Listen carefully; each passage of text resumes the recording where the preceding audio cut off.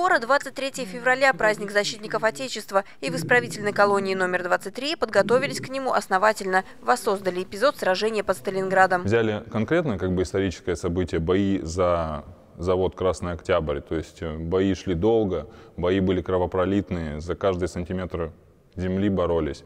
Вот, то есть наши наступали, наших выбивали, немцы э, окапывались, снова наши наступали. Сама экспозиция получилась больше творческая, но мы отобразили именно наступление нашей Красной Армии и фашисты как отбивались. Для того, чтобы передать момент события с исторической точностью, осужденные изучали документы, читали книги. Макеты военной техники, фигурки солдат – все сделано творческой группой любителей военной истории. И эта диорама побудила больше узнать о Великой Отечественной войне даже тех, кто далек от этой темы. Есть такие ситуации, что осужден у нас э, есть образование три класса, неблагополучная семья, и как-то вот так у них получилось, что они оказались тут. Естественно, они с историей не знакомы, им как бы об этом неизвестно. У нас, да, есть школа, они обучаются, но когда это видишь живую, это намного всегда интереснее. Ну а чтобы закрепить знания о Великой Отечественной, в исправительную колонию пригласили Балаковский поисковый отряд «Набат». Ребята постоянно участвуют в вахтах памяти, поэтому им есть что рассказать.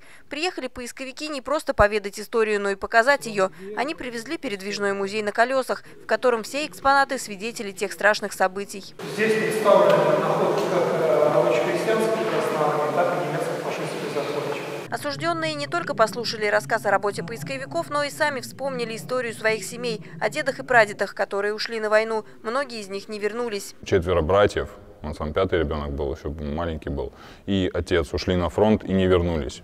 То есть вот только недавно, недавно только нашли их могилы, они были в братских захоронениях. Увидеть это вживую своими глазами, это важно важно для подрастающего поколения. Я думаю, многим, многим было интересно посмотреть, послушать, как происходит все это изнутри, как находят ордена, медали, братские захоронения. Ведут очень нужную и правильную работу по обнаружению и перезахоронению э, военнослужащих, которые э, проходили военную службу в период Великой Отечественной войны. Это был первый, но, скорее всего, не последний визит балаковских поисковиков в исправительную колонию номер 23. Осужденные отметили, что рассказ о Великой Отечественной войне побудил их еще раз обратить внимание на эту тему. Благо, в библиотеке книги имеются. Ну а руководство Набата планирует перевести в учреждение новую экспозицию, ведь экспонатов в Музее боевой славы еще очень много.